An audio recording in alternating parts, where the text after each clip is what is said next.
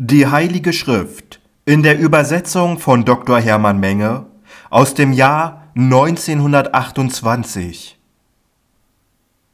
Die Heilsbotschaft nach Lukas.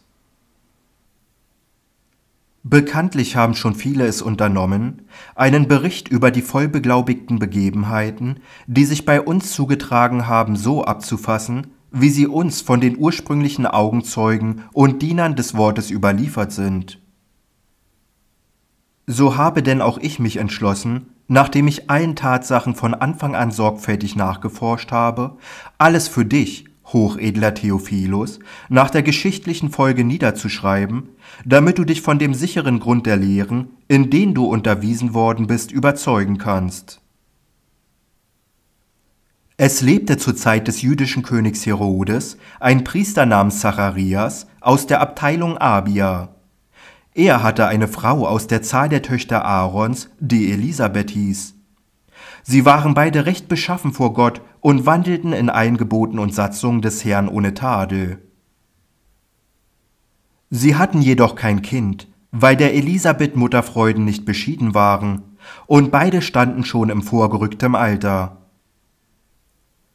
Da begab es sich einst, als seine Abteilung an der Reihe war und er den Priesterdienst vor Gott zu versehen hatte, dass er nach der Sitte der Priesterschaft durch das Los dazu bestimmt wurde, in den Tempel des Herrn zu gehen und dort das Rauchopfer darzubringen, während die ganze Volksmenge draußen zur Stunde des Rauchopfers betete.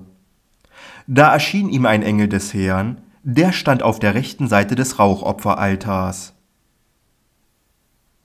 Bei seinem Anblick erschrak Zacharias und Furcht überfiel ihn.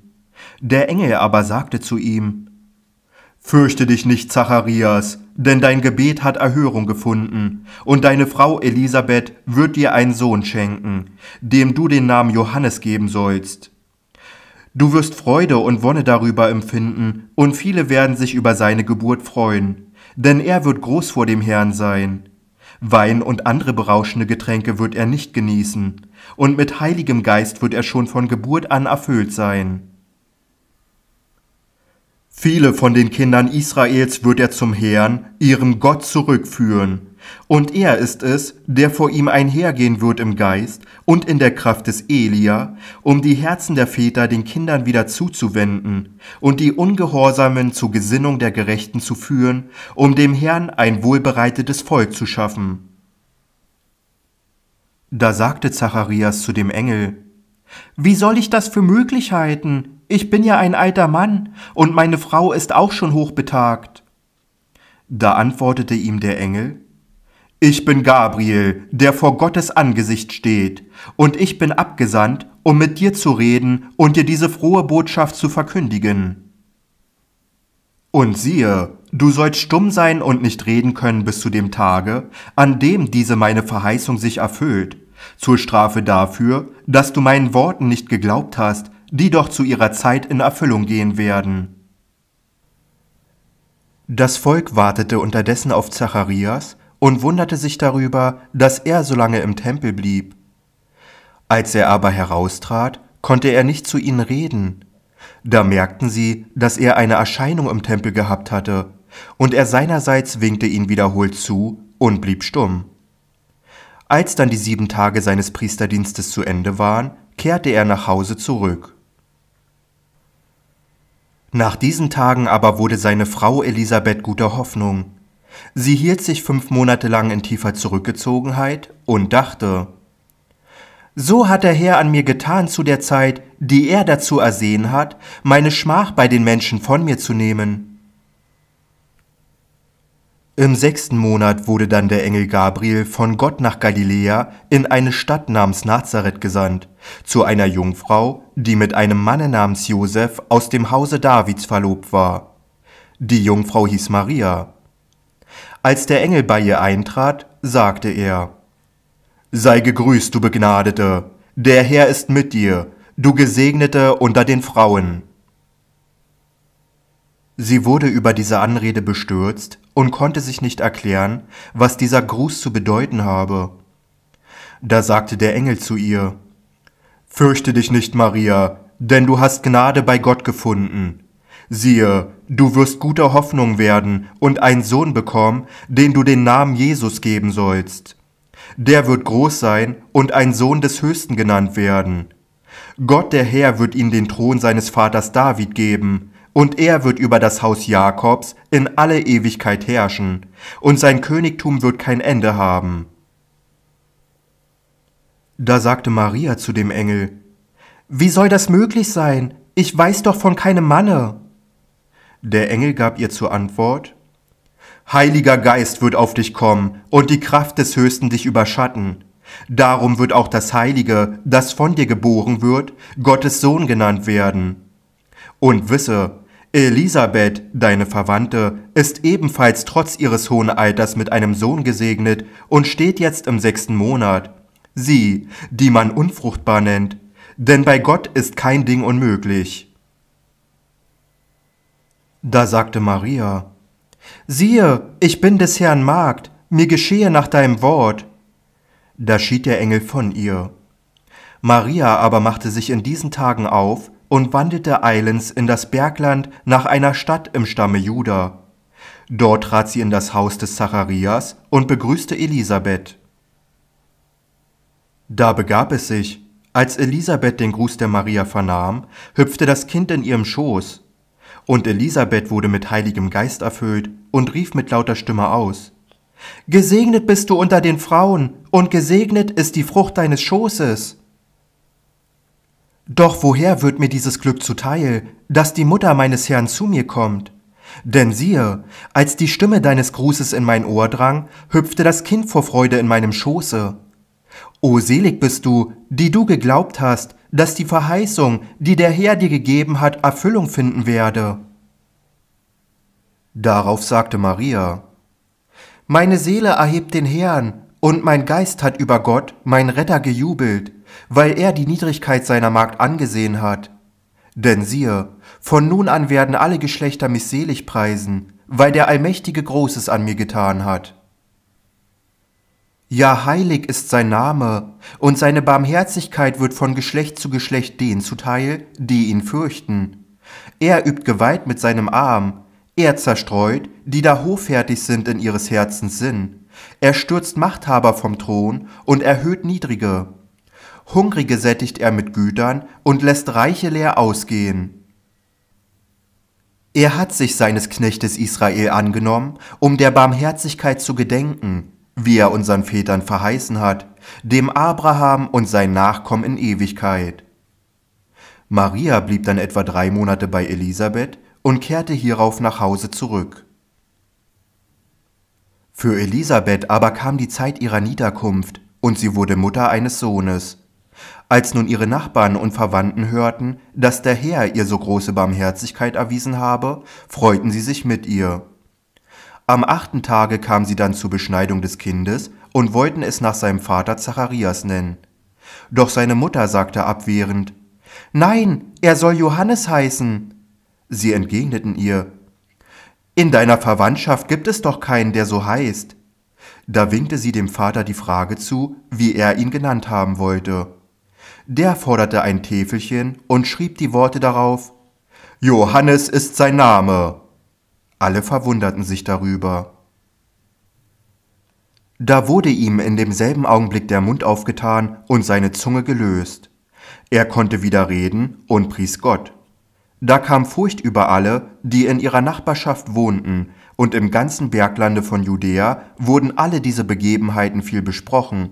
Und alle, die davon hörten, nahmen es sich zu Herzen und sagten, Was wird wohl aus diesem Kinde werden? Und die Hand des Herrn war auch wirklich mit ihm. Da wurde sein Vater Zacharias mit heiligem Geist erfüllt und sprach die prophetischen Worte. Gepriesen sei der Herr, der Gott Israels, denn er hat sein Volk gnädig angesehen und ihm eine Erlösung geschafft und uns ein Horn des Heils aufgerichtet im Hause seines Knechtes David so hat er es durch den Mund seiner heiligen Propheten von alters her verheißen. Retten will er uns von unseren Feinden und aus der Gewalt aller derer, die uns hassen, um unserer Väter Barmherzigkeit zu erzeigen und seines heiligen Bundes zu gedenken. Er hat ja unserem Vater Abraham zugeschworen, uns zu erretten aus der Gewalt unserer Feinde und uns zu verleihen, dass wir ihm furchtlos dienen in Frömmigkeit und Gerechtigkeit vor seinen Augen alle Tage unseres Lebens hindurch. Aber auch du, Kindlein, wirst ein Prophet des Höchsten heißen, denn du wirst vor dem Herrn einhergehen, ihm die Wege zu bereiten. Du sollst seinem Volk die Erkenntnis des Heils verschaffen, das ihnen durch Vergebung ihrer Sünden zuteil werden wird. So will es das herzliche Erbarmen unseres Gottes, durch das uns der Aufgang aus der Höhe erschienen ist, um denen Licht zu geben, die in Finsternis und Todesschatten sitzen, und um unsere Schritte auf den Weg des Heils hinzulenken. Das Kind aber wuchs und wurde stark am Geist und lebte in der Wüste bis zum Tage seines öffentlichen Auftretens vor Israel. Es begab sich aber in jenen Tagen, dass eine Verordnung vom Kaiser Augustus ausging, es solle eine Volkszählung im ganzen römischen Reiche vorgenommen werden. Das war die erste Zählung, die zu der Zeit stattfand, als Quirinius Statthalter von Syrien war. Da machten alle sich auf, um sich in die Listen eintragen zu lassen, ein jeder in seine Heimatstadt. So zog denn auch Josef aus Galiläa aus der Stadt Nazareth nach Judäa hinauf, nach der Stadt Davids mit Namen Bethlehem, weil er aus Davids Haus und Geschlecht stammte, um sich da selbst mit Maria, seiner jungen Ehefrau, die gute Hoffnung war, eintragen zu lassen. Während ihres dortigen Aufenthalts kam für Maria die Zeit ihrer Niederkunft, und sie gebar ihren ersten Sohn, den sie in Windeln wickelte und in eine Krippe legte, weil es sonst kein Platz in der Herberge für sie gab. Nun waren Hürden in derselben Gegend auf freiem Felde und hielten in jener Nacht Wache bei ihrer Herde. Da trat ein Engel des Herrn zu ihnen, und die Herrlichkeit des Herrn umleuchtete sie, und sie gerieten in große Furcht. Der Engel aber sagte zu ihnen, Fürchtet euch nicht, seht, ich verkündige euch eine große Freude, die dem ganzen Volke widerfahren soll. Denn euch ist heute ein Retter geboren, welcher ist Christus, der Herr, in der Stadt Davids. Und dies sei das Zeichen für euch. Ihr werdet ein neugeborenes Kind finden, das in Windeln gewickelt ist und in einer Krippe liegt. Und plötzlich war bei dem Engel eine Menge himmlischer Herrscher, die Gott lobten mit den Worten Ehre sei Gott in Himmelshöhen und Friede auf Erden in den Menschen des göttlichen Wohlgefallens.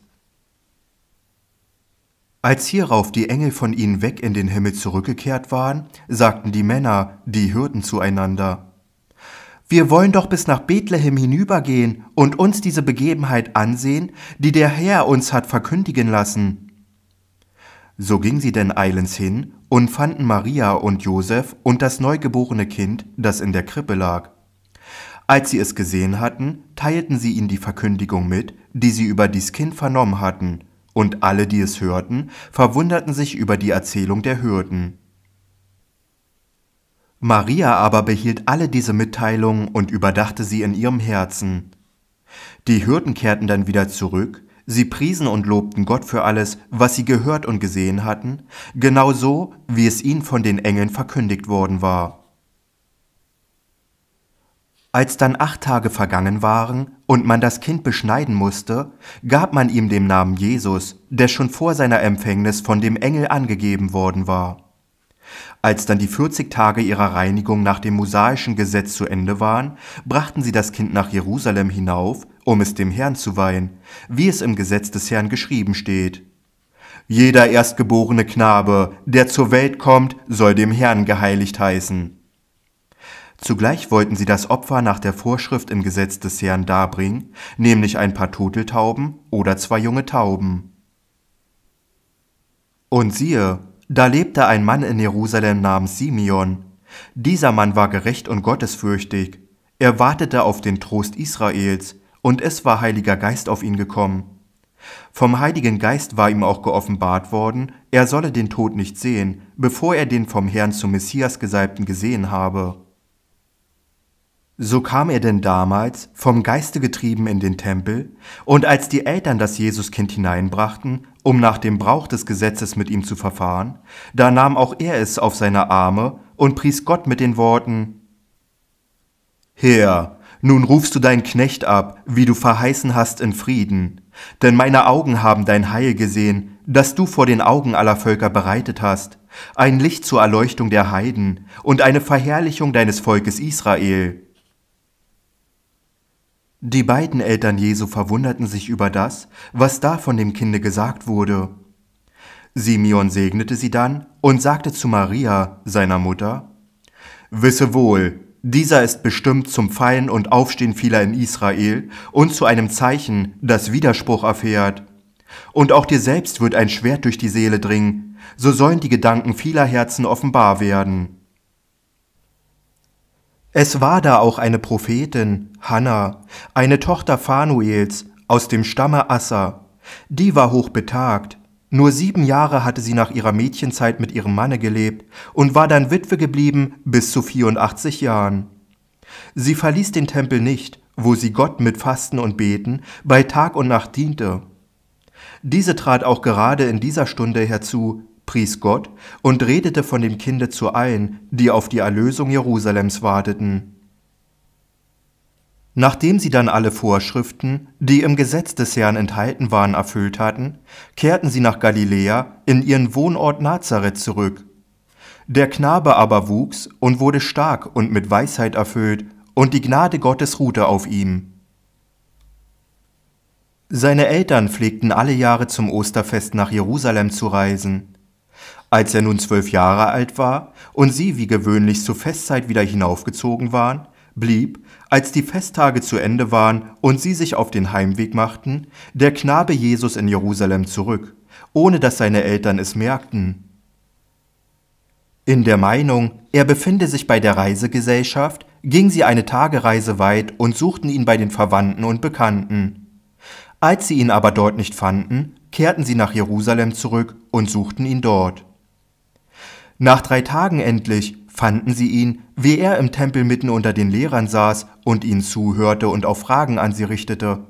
Und alle, die ihm zuhörten, staunten über sein Verständnis und seine Antworten. Als sie ihn dort sahen, wurden sie betroffen, und seine Mutter sagte zu ihm, Mein Sohn, warum hast du uns das getan? Siehe, dein Vater und ich haben dich mit Angst gesucht. Da antwortete er ihnen, Wie habt ihr mich nur suchen können? Wusstet ihr nicht, dass ich im Hause meines Vaters sein muss? Aber sie verstanden das Wort nicht, das er zu ihnen gesagt hatte. Er kehrte dann mit ihnen nach Nazareth zurück und war ihnen untertan, und seine Mutter behielt all diese Worte fest in ihrem Herzen. Jesus aber nahm zu an Weisheit, Körpergröße und Wohlgefallen bei Gott und den Menschen. Bedenke, was im 2. Timotheus Kapitel 4 Vers 3 steht. Denn es wird eine Zeit kommen, da wird man die gesunde Lehre unerträglich finden und sich nach eigenen Gelüsten Lehrer über Lehrer beschaffen. Von der Wahrheit dagegen wird man die Ohren abkehren und sich den Fabeln zuwenden. Es ist der Unglaube, der das Gute und Richtige verdreht, verzehrt und verspiegelt.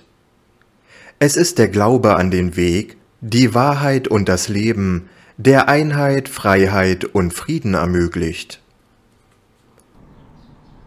Bestelle das Fibelheft kostenlos und versandkostenfrei auf fibelzeit.de